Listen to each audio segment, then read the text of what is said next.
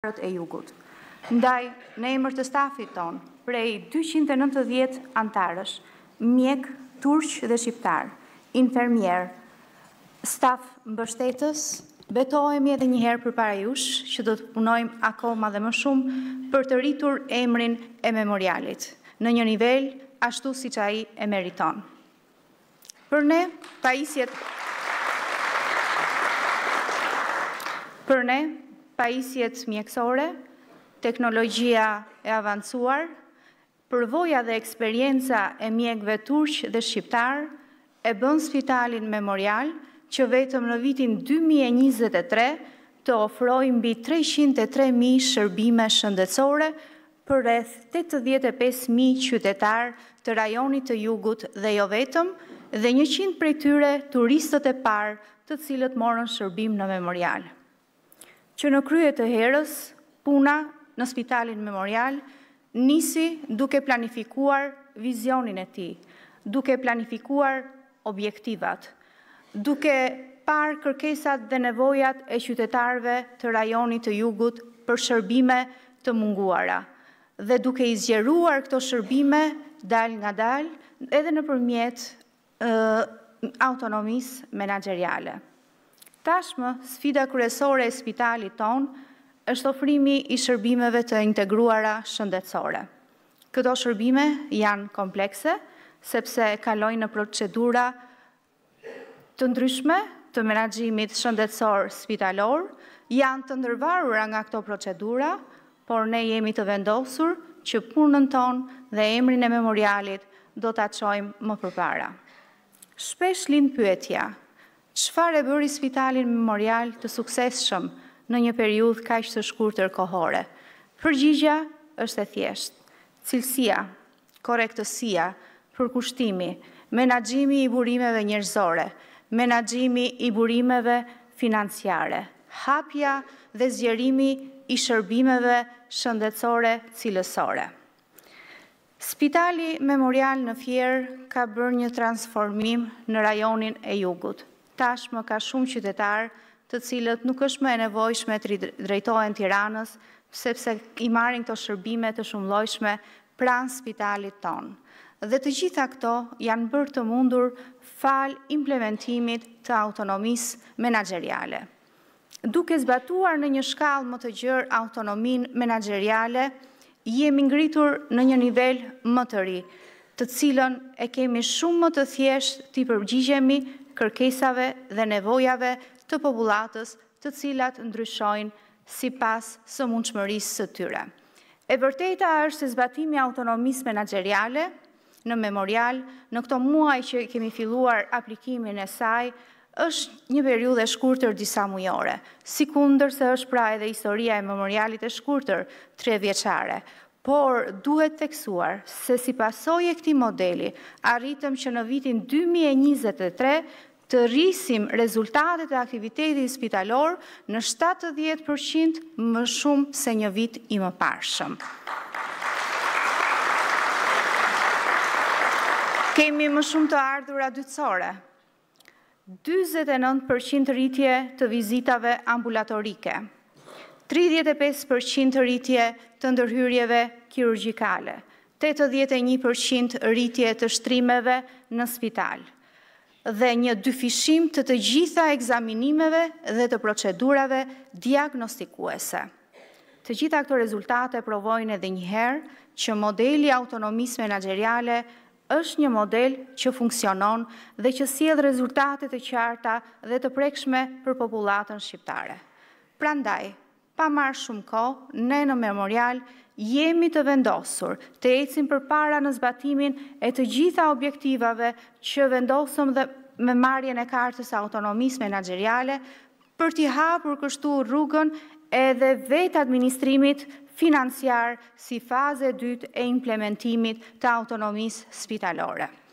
Përpara se t'i jap fjalën dhe kolegut doktor Klaudios, do doja të nënvizoj edhe një herë përpara jush që ne si Memorial dhe si staf i tij jemi të gatshëm për të kontribuar dhe të për të bashkëpunuar me të gjithë kolegët që sot nisin rrugëtimin e tyre të autonomisë menaxheriale dhe jo vetëm, sepse qëllimi është për të gjithë i përbashkët, të krijojmë qendra ekselence në të gjithë territorin e vendit tonë. Faleminderit.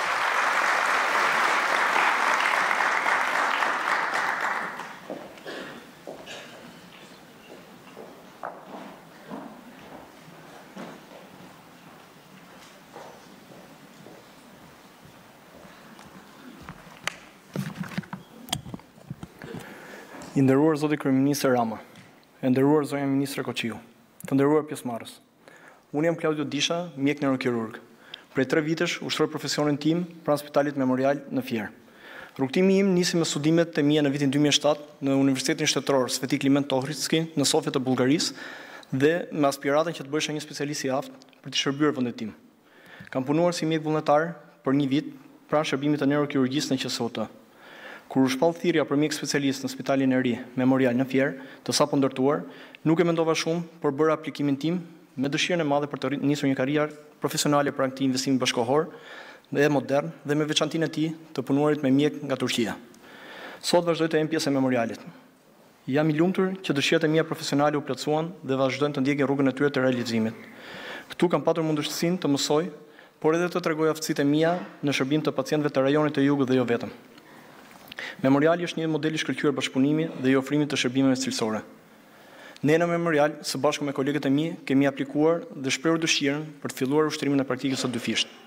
Jemi trembëdhjetë mjekë specialistë të fushave të ndryshme që kemi bërë kërkesën, Dhe në muajin shkurt do fillojmë ushtrimin e praktikës së dyfishtë. Për ne mjekët e rinj të Memorialit, kjo është një mundësi e re që na jepet për të krijuar lidhje të reja besimi me pacientët jashtë sistemit të referimit, por edhe një vlerësim financiar që do të bazohet në numrin e konsultave që ne do të ofrojmë jashtë orarit zyrtar të punës. Duke shfrytëzuar infrastrukturën e spitalit, do të krijojmë më shumë lehtësira për pacientët e Jugut, por edhe për qytetarë nga Tirana dhe jo vetëm, që kërkojnë shërbime në Memorial. Në këto vite eksperiencë, kam trajtuar pacientë nga qytete të ndryshme që kanë dëshirën të vijnë në Memorial. Kjo gjë do t'u shërbejë atyre për të gjetur mjekun që ata dëshirojnë dhe në kohën që dëshirojnë. Gjithashtu, jam i kënaqur që me këtë ndryshim edhe ne mjekët e rinj do të kemi zërin tonë në vendimmarrjen e spitalit tonë. Sot më jepet rasti të ftoj dhe t'u them mjekëve të rinj që të bëhen pjesë e Memorialit si pjesë e sistemit tonë publik që ka ndryshuar qasjen jo vetëm ndaj ofrimit të shërbimeve shëndetësore por edhe të vlerësimit tonë financiar dhe mendoj me bindje të plotë që ky është vetëm një fillim i mbarë për ne. Ju faleminderit për mundësinë që më dhatë të prezantoj veten time.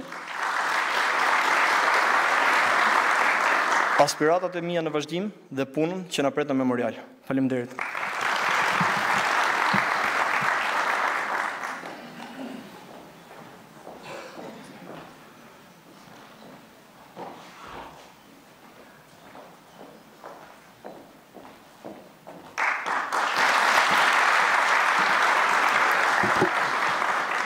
Faleminderit Rudina, faleminderit Klaudio. Në fakt, Memoriali është një shëmbull që tregon se me punë dhe vullnet, gjëra të mëdha mund të realizohen edhe në një kohë relativisht të shkurtër. Dhe ky është një fakt që dua ta theksoj fort. Pas dhjetë vitesh transformimi të pandërprerë, jemi sot në gjendje të synojmë objektiva shumë më ambiciozë, siç është autonomia, e cila me modelin e menaxhimit spitalor do të sjellë në qendrat tona akoma më shumë cilësi, akoma më shumë vetëadministrim. Për këtë arsye dua ta nis me një falënderim për të gjithë ata që kanë ushqyer dhe vazhdojnë të ushqejnë ambicien tonë, të cilët punojnë më shumë e më shpejt, mjekët dhe stafet mjekësore. Dhe pa diskutim kryeministrin Rama për gjithë mbështetjen e pakufizuar në këtë transformim të madh. Dita e sotme është një ditë shumë e rëndësishme për mjekësinë shqiptare. Pas një procesi të gjatë, që për hir të të vërtetës është kryer pa zhurmë dhe larg kamerave, pesë qendra spitalore janë sot gati për të marrë kartën e autonomisë menaxheriale.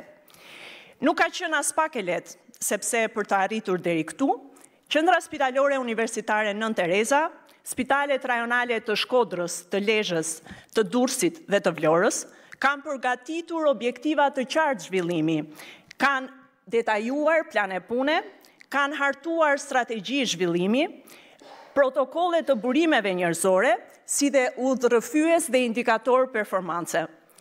Tashmë, me dorëzimin e Kartës së Autonomisë Menaxheriale, të gjithë këto qendra spitalore, siç dhe Memoriali më herët, do të vijojnë njëra mbas tjetrës, të bëhen pjesë e një vizioni i cili sa herë është aplikuar në ato vende që ne do të aspirojmë të krahasohemi, ka sjellë gjithmonë të njëjtat rezultate. Ka sjellë standarde më të larta për qytetarët, kushte dhe paga më të mira për mjekët, Progres dhe modernizim të sektorit. Hap pas hapi, objektivi ynë është që ne të mundet në dy mijë e njëzet e shtatën të kemi shtatëmbëdhjetë qendra spitalore, shtatëmbëdhjetë pole ekselence, të cilat do të vetëmenaxhohen në të gjithë vendin. Padyshim që Karta e Autonomisë nuk është një pikënisje, por as një pikëmbërritje. Ne jemi të qartë që kemi akoma shumë punë përpara për të bërë. Autonomia është një mekanizëm i cili sapo ka filluar dhe prej më pak se një viti, gradualisht, do të krijojë mundësinë që në sistemin tonë shëndetësor të ketë paga më të larta për mjekët dhe që sigurisht janë të lidhura me performancën e tyre. Ky është një proces i cili do të thellojë më shumë meritokracinë, duke krijuar mundësi për mjekët dhe hapësira akoma më të mëdhaja për të punuar dhe angazhuar brenda strukturave të tyre shëndetësore. Dua të theksoj diçka që është shumë e rëndësishme për gjithë pranishmit në sallë, se përfitimet shtesë që gjeneron autonomia spitalore ecin paralel dhe nuk mbivendosen me programin tonë për rritjen e mëtejshme të pagave, program i cili pas rritjes historike që u krye në vitin dy mijë e njëzet e tre, do të vijojë me një rritje të mëtejshme edhe këtë vit për mjekët dhe infermierët.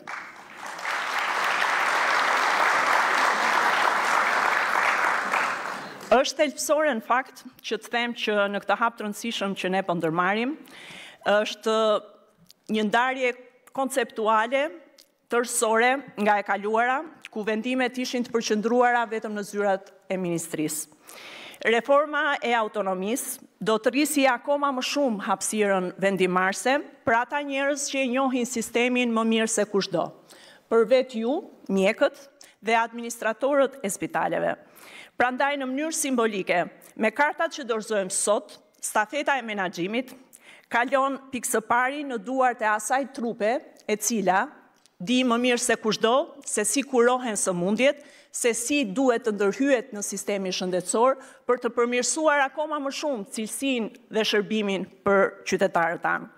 Kjo nuk do të thotë në asnjë mënyrë që roli i ministrisë do të zvogëlohet apo spitalet do të lihen në mëshirë.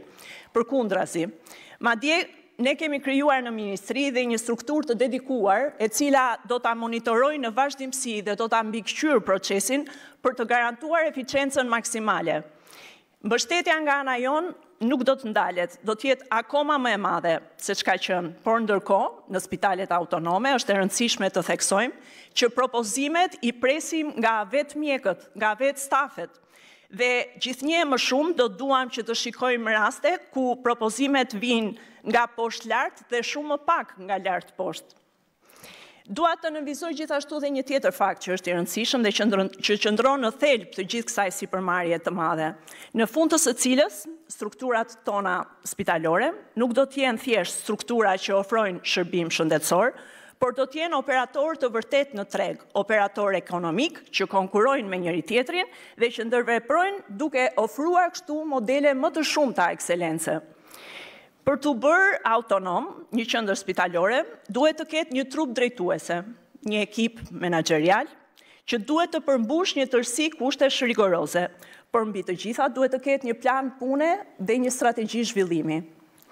Kjo do të thotë se vizioni ynë për shëndetësinë e dy mijë e njëzet e pesës, dy mijë e njëzet e shtatës e më tej akoma i dy mijë e tridhjetës do të jetë një vizion i ndarë bashkarisht e ku të gjithë, nga kryeministri, ministri, drejtori i spitalit, bordi i menaxhimit, mjekët, infermierët, të gjithë kanë nga një rol për të luajtur.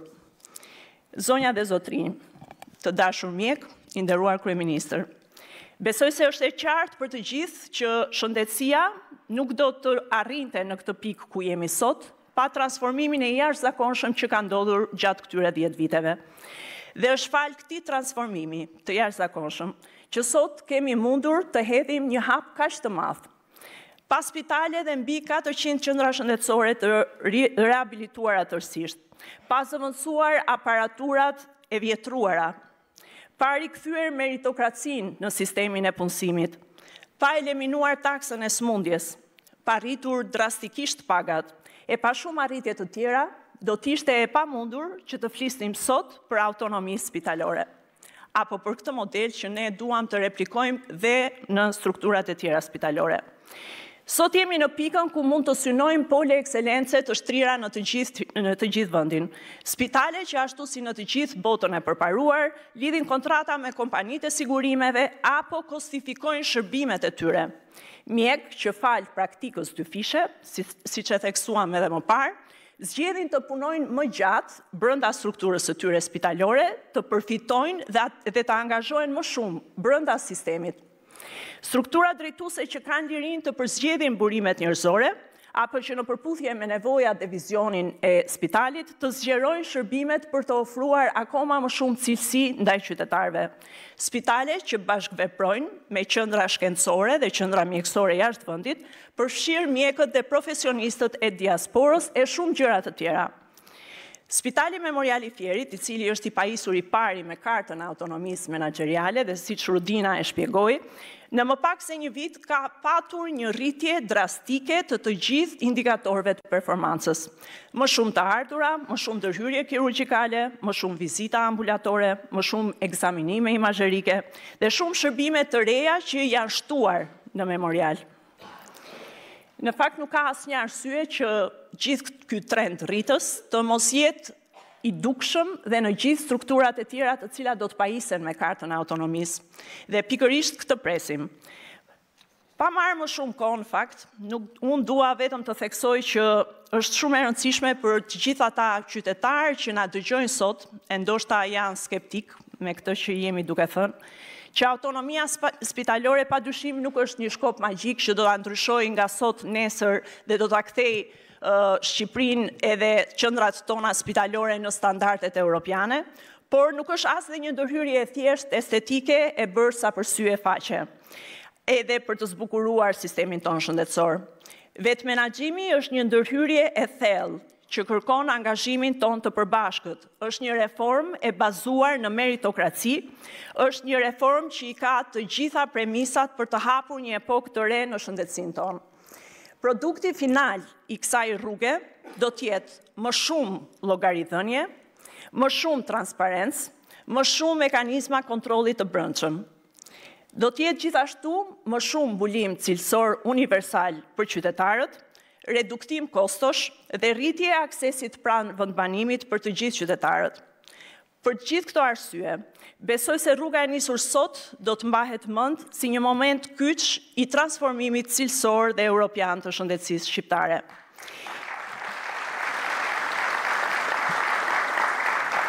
Dhe tani dua të ftoj njeriun që mbase më shumë se kushdo ka besuar dhe beson tek vizioni dhe potenciali i autonomisë spitalore, kryeministrin Edi Rama.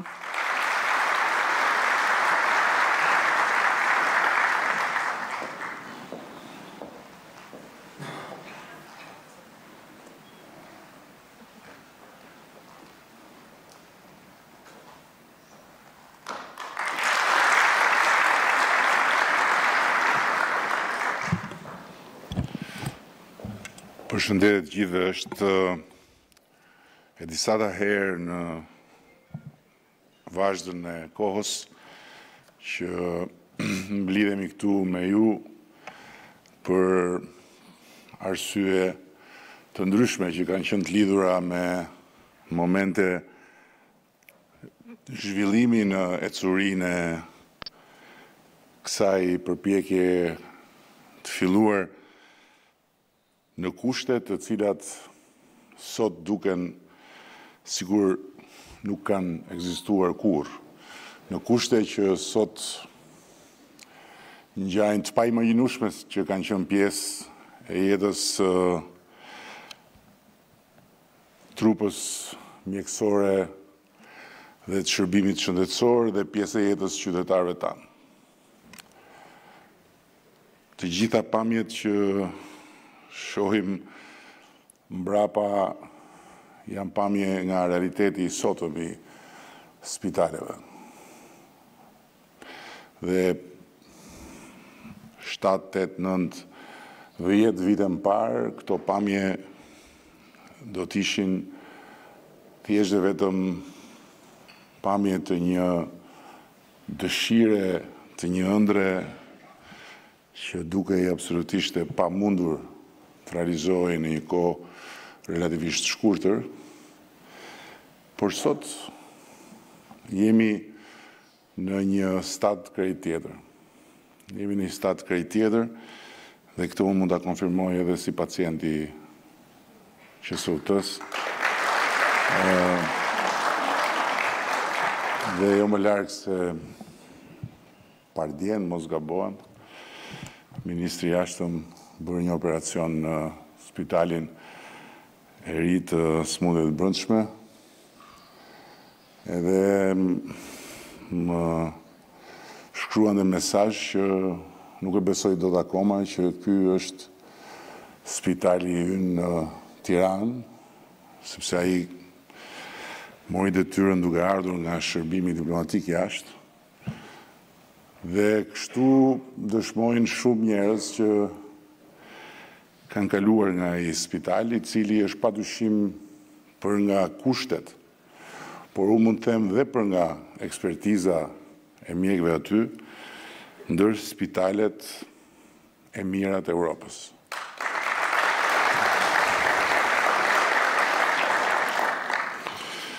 Edhe patjetër që më vjen mirë ta kujtoj edhe çfarë më tha një nga operuesit e mi dhe po e citoj meqë ai nuk dyshohet për patronazhist se është demokrat 24 karat që ishte nder tha që Të kishim në sallën e operacionit për herë të parë në historinë e shërbimit shqiptar shëndetësor një kryeministër, se të gjithë tjerët s'kanë kalu kurrë nga shërbimi shëndetësor. I them këto për të për të sjell në aktualitetin e kohës sotme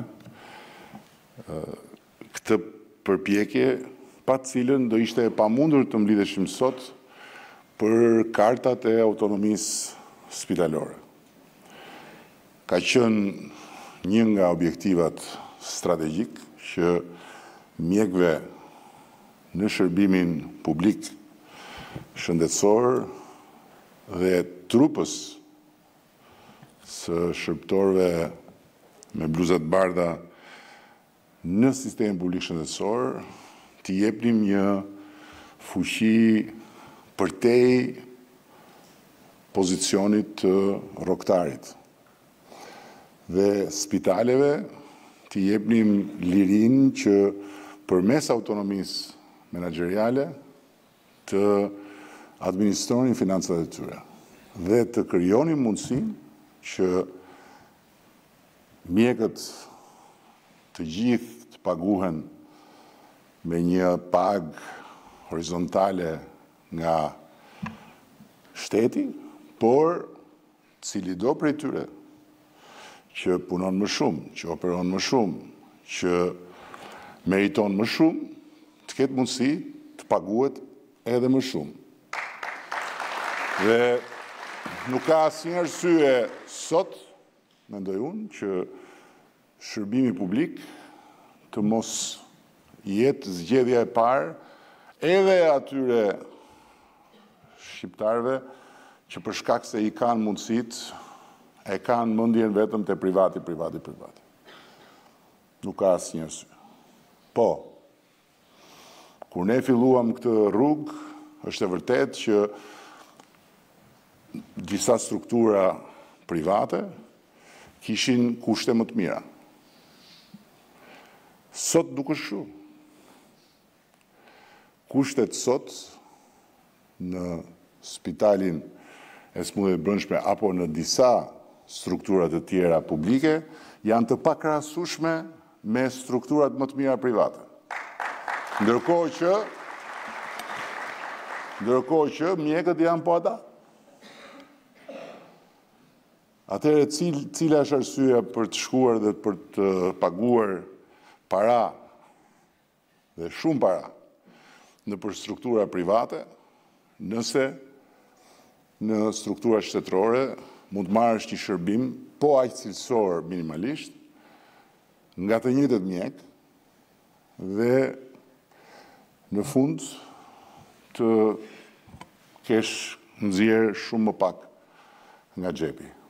Është vetëm një perceptim ende për t'u mundur i shërbimit publik si një shërbim ku nuk ka kushte, ku nuk shërbehesh si duhet etj etj. Unë asnjëherë nuk i uroj dot askujt që shan dhe mallkon shërbimin publik që të shkojë në spital. S'ia uroj dot. Por kush shkon në spital ka një perceptim dhe një opinion krejt tjetër për shërbimin shëndetësor publik, sesa kush për shkak se fatmirësisht nuk e çon halli në spital, vazhdon kujton se spitali shtetëror është një vend ku s'merr shërbim, ku s'të prekin pa fut dorën n'xhep, ku ku ku të gjitha me radhë. Këto nuk duan të thonë që nuk ka raste që janë të turpshme. Këto nuk duan të thonë që nuk ka arsye për kritika. Këto nuk duan të thonë që të gjitha spitalet shtetërore janë me këto kushte. Këto e dimë shumë mirë. Por këto duan të thonë që në të gjitha rastet, asnjë qytetar shqiptar, pavarësisht nivelit ekonomik, nuk ka sot asnjë arsye që të ndjehet i braktisur, përkundrazi, çdo qytetar shqiptar sot e ka mundësinë të marrë një shërbim shëndetësor dinjitoz falë faktit se kemi një sërë spitalesh që janë edhe në disa qendra të vendit që ofrojnë kushte dhe shërbim dinjitoz. Sot jemi në një fazë tjetër. Sot hyjmë në një kapitull të ri, falë edhe faktit që Spitali Memorial shërbeu për të pilotuar autonominë menaxheriale dhe brenda vitit synojmë që të hapim në këto spitale që do të marrin certifikatën e autonomisë menaxheriale edhe praktikën e dyfishtë, pra që mjekët të cilët punojnë në këto spitale dhe që Janë të dëshiruar dhe janë të kërkuar nga qytetarët për të ofruar shërbim përtej orarit të punës, të shfrytëzojnë spitalin, të shfrytëzojnë të gjithë aparaturat dhe kushtet e spitalit për të ofruar një shërbim ekstra, i cili është një shërbim me pagesë, ku 70 për qind të pagesës do t'i marri mjekë, do t'i marri mjeku dhe 30 për qind do t'i mbeten spitalit. Dhe në këtë mënyrë dhe në këtë mënyrë hyjmë më në fund në Europë në kuptimin e konceptimit të sistemit publik si një sistem ku mjekët nuk janë rrogtarë,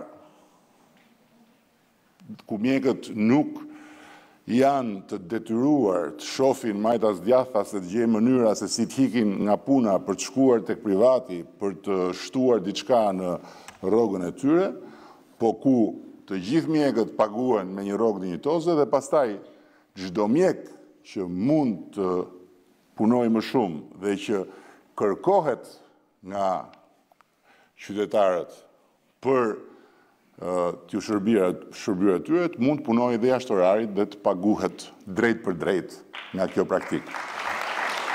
Dhe kjo është kjo është njëra anë. Ana tjetër duhet ta theksoj është që në momentin kur mbasi të kalojmë të gjithë procesin e nevojshëm të nxjerrjes së të gjitha kostove, protokolleve, të gjitha atyre proceseve që duhen për autonominë financiare, përmes autonomisë menaxheriale, atëherë në momentin kur spitalet do të kalojnë në autonomi të plotë, jo vetëm menaxheriale, por dhe financiare, do të kenë në dispozicion ata fondet dhe do të vendosin ata, si të ishin një strukturë e pavarur, se si do të shpenzohen fondet, se cilat sasi të cilave medikamente do të porositen dhe në të njëjtën kohë se si do të shpërblehen ekstra nga të ardhurat e spitalit mjekët sipas një protokolli shumë të qartë. Pra, Jo vetëm praktika e dyfishtë, por edhe rritja së brendshmi e shpërblimit mjekëve në bazë të meritës do të bëjnë që interesi për të punuar në spitalet publike të jetë gjithmonë e më i lartë, konkurrenca të jetë gjithmonë e më e fortë dhe pastaj kush do të shkojë në Gjermani na marrtë të keqen. Ëh uh, E them këtë me plot gojën dhe jam i bindur unë personalisht që vitet e ardhshme do të shënojnë një kthesë edhe në këtë aspekt. Në vizitën që bëra në Mynih para pak ditësh, më kanë takuar disa mjekë, nuk mund të flas akoma sepse Nuk jam i autorizuar të flas në emër të tyre, por disa mjekë shqiptarë që punojnë në Gjermani, jo stazhierë, po shumë të mirë pozicionuar, të cilët më kanë shprehur jo dëshirën, por më kanë shprehur interesimin që të kthehen dhe të punojnë në sistemin publik shqiptar. Dhe natyrisht që Ka shumë arsye për ta bërë këtë, por unë do ta përkufizoj vetëm me një fjalë që e dëgjova nga të tre ata që ishin aty, që përfaqësonin një grup më të madh mjekësh.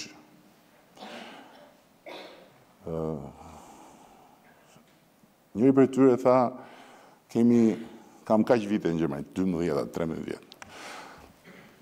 Punoj në një nga spitalet më prestigjioze, kam të gjitha kushtet profesionale. Pa diskutim, paguhem njësoj si një mjek gjerman në këtë nivel. Po jam bosh. Jam bosh. Dhe kur mendoj që ikën katërmbëdhjetë vjet dhe kështu mund të ikin dhe katërmbëdhjetë të tjerë, mund të ikin dhe njëzet e katër të tjerë dhe një ditë të bukur mund të gjendem në kushtet e pensionit, pasi e kam kaluar gjithë jetën nga shpia në spital, nga spitali në shpi, me kolegë shumë të respektushëm, po me cilët as nuk zihesh dot, as se kur do të zihesh, thjesht nuk të flasin, atëherë, tha, kam frikë se do të kem një hall shumë të madh. Kështu që dua të kthehem në Shqipëri. Dua të punoj në Shqipëri. Dhe kjo ndjenja e boshllëkut, ndjenja e viteve që kalojnë dhe ndjenja që Shumë dije dhe shumë shumë eksperiencë mund t'i vihet në shërbim vendit dhe mund të merren mbrapsht disa kënaqësi që nuk nuk nuk janë në atë zarfin e pagës, ishte ajo që unë kuptova nga të tre ata. Dhe natyrisht, konkluzioni në cilin ata kishin dalë për t'u kthyer, vinte edhe si rezultat i faktit që kishin parë situatën e disa spitaleve. Kemi hyrë, thanë, tinës, thjesht për të parë ça bëhet, sepse nga televizori nuk besonim dot që ishin ashtu spitalet në Shqipëri. Edhe përmendën spitalin e sëmundjeve të brendshme, thanë që ai është ai në Gjermani do të ishte pa diskutim ndër spitalet më të mira. Sepse duke qenë se është bërë tani, Janë blerë aparaturat më të fundit dhe do vazhdojmë ta pajisim. Tani po punojmë me ministren për të sjellë robotët për operacionet, që është një tjetër shkallë dhe këtë të robotëve Unë e dëgjova gjërë e gjatë kur rrija shtrirë atje me atë demokratin që m'rrinte ke koka. Kështu që besoj shumë që jemi, kemi të gjitha arsyet të ndjehemi të inkurajuar dhe të ndjehemi optimist dhe pa diskutim që Tani, më shumë se sa dje, kur e thoshim por shumë gjëra duheshin bërë për ta besuar, kemi shumë arsye konkrete në realitetin e shërbimit shëndetësor, në realitetin e spitaleve, për ta besuar plotësisht se Shqipëria e vitit dy mijë e tridhjetë do të jetë një vend me një shërbim shëndetësor që do t'ju krijojë të gjithë shqiptarëve